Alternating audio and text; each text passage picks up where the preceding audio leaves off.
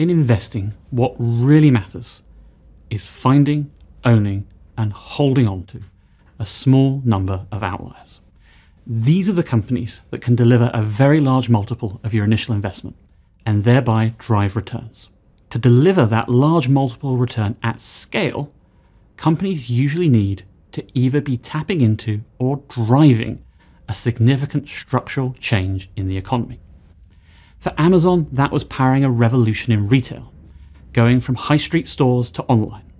For Tesla, it has been helping the world transition from the internal combustion engine to electric cars.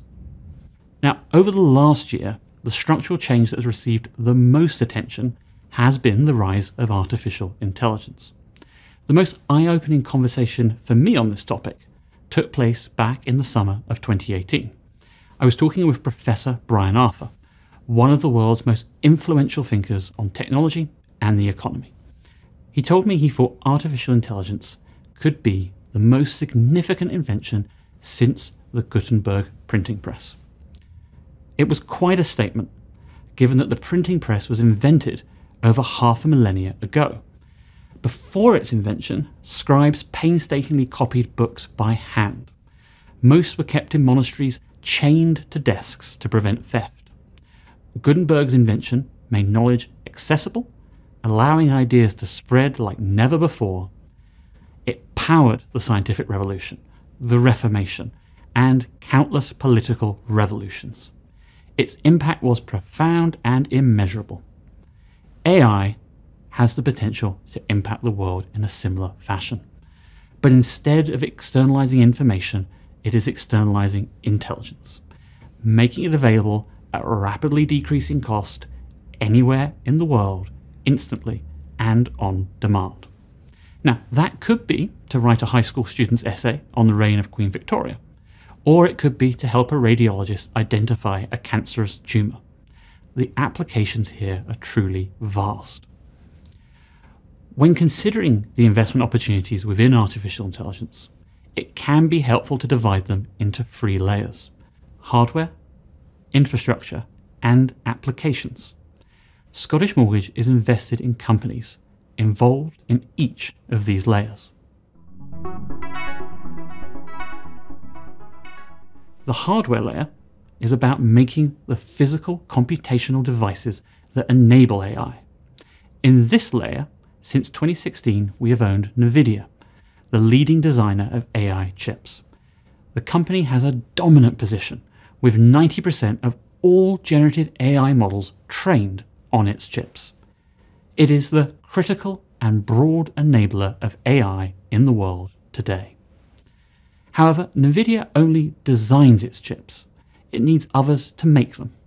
For this, it uses TSMC, the world's largest integrated circuit manufacturer, and a recent addition to the Scottish mortgage portfolio. It has a dominant position in an industry where scale matters, with the latest foundries, such as the three it is building in Arizona, costing over $65 billion. These chip foundries are so critical to supply chains and the modern economy that they hold geopolitical significance. As a result, the US government is providing over $10 billion in federal grants and loans to ensure they are built in the United States. To help make chips, TSMC requires a particularly crucial piece of equipment lithography machines. For these, it relies on another of our long standing holdings, ASML, which has a monopoly position in advanced lithography machines. These rely on the world's flattest mirrors and one of the most powerful commercial lasers in existence to create an explosion 40 times hotter than the surface of the sun to patent tiny shapes on silicon that measure just a few nanometers. This precision is what allows chips to be made containing tens of billions of transistors. All three companies benefit from the rise of AI while possessing dominant and near impregnable competitive positions. The second layer is the infrastructure layer. Here we have the cloud service providers that buy NVIDIA's chips and offer scalable, on demand access, allowing other companies to train and deploy AI models without the overhead of building their own infrastructure or having to go and buy their own chips. In essence, the cloud service providers democratize access to both computing and AI.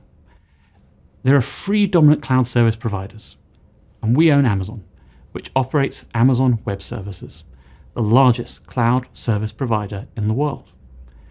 We also own database companies like Snowflake and Databricks that benefit from allowing companies to store, manage, and use their data to power AI models. Now, the final layer is the application layer. This is about making productive use of AI in the real world. A significant number of Scottish Mortgage's holdings are making use of it to expand addressable markets, reduce costs, and dig deeper competitive moats. Tesla is using AI to make its cars self driving, and even hopes to leverage those advances to produce humanoid robots. After all, what is a self driving car if not a robot operating in the physical world? Demonstrative of its progress is that Tesla's cars have now driven 1.3 billion miles autonomously, and the company is already in conversation with another major car maker about licensing its self driving technology. Recursion Pharmaceuticals is leveraging AI to improve drug discovery by creating a map of human biology that could dramatically cut the cost of developing new drugs. Tempus, which was one of our private holdings that has just gone public, has built a vast database of over 7 million cancer patients' clinical records and is applying machine learning to that dataset to enable physicians to make better treatment decisions. Meta, the company that owns Facebook, is using AI to improve advertising targeting across its platforms, such as with Facebook, Instagram, and WhatsApp, to powerful effect. Spotify is using it to enhance its personalized song recommendations and has released new features such as its AI powered DJ. AI also enables podcasts on Spotify to be translated into other languages using the actual voice of the original podcaster. So the impact of AI across the portfolio is vast because all companies can benefit from the application of intelligence. In this sense, AI can be thought of as a powerful new set of tools for companies to apply to their business that will crucially only get significantly better with time. The companies that will be best placed to use this toolkit will be those with large amounts of proprietary data software expertise, and a culture of innovation. In each of these dimensions, our portfolio companies should be well placed. The opportunities of the application layer in new technology paradigms naturally lag behind those in hardware and infrastructure. So, those two initial layers need to scale first in order to support the development of applications. But it can take time and human ingenuity to find ways to leverage and apply powerful new technologies to make use of that hardware. We can draw an analogy with the smartphone here. When the iPhone was released, it was clearly an impactful piece of hardware. Still, it took time for companies and aspiring founders to build applications, to utilize the new device's potential fully. It didn't all happen at its release in 2007, because then it would have been hard to immediately predict the new business models it was going to enable such as ride hailing, food delivery, mobile payments, and short form video apps such as ByteDance's TikTok.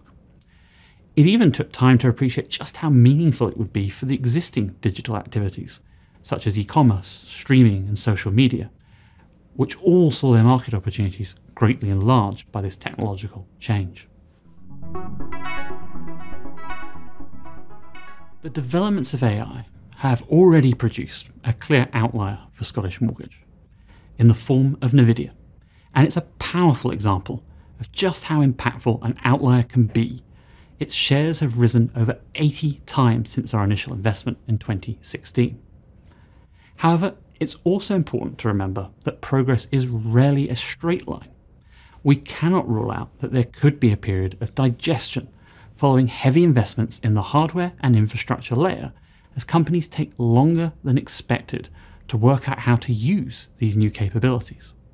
Alternatively, we could encounter unexpected limitations to AI models, requiring new algorithmic breakthroughs to be made. So we're cognizant that the hardware companies, in particular, though currently propelled by insatiable demand, can be viciously cyclical businesses should they hit air pockets of demand. We continue to expect them to perform well, but in recognition of this cyclicality, have been making some mild reductions to Nvidia, which is our largest holding, and it's also the holding that has seized the title of the world's most valuable company just recently.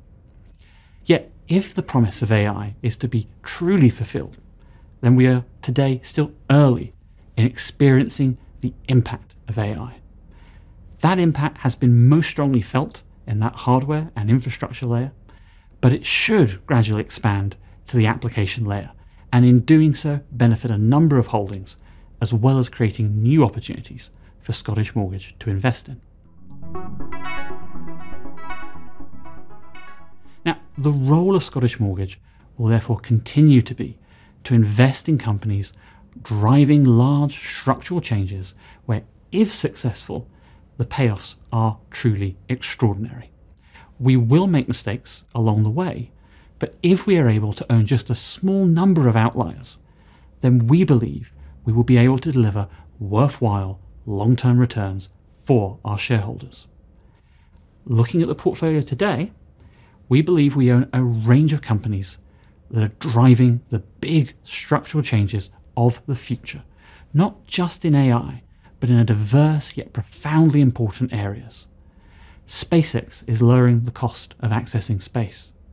In the first instance, this has allowed it to put in place a growing network of over 6,000 satellites that are providing high speed internet to homes, remote areas, planes, and ships around the world. Its launch capabilities also open up a range of possibilities, including transporting people and cargo around the world faster than ever before, going from London to Hong Kong not in 12 hours, but in under 35 minutes. Moderna's technology platform is allowing a single company to tackle a broad array of diseases from flu all the way through to cancer. Mercado Libre is leveraging technology not just to change retail in Latin America, but also to provide many millions access to credit, investments, and insurance for the first time, as it seeks to become the largest financial institution on the continent. It is this broad opportunity to invest in transformational change and companies that have the potential for truly extraordinary payoffs fills us with long term optimism. Thank you for listening.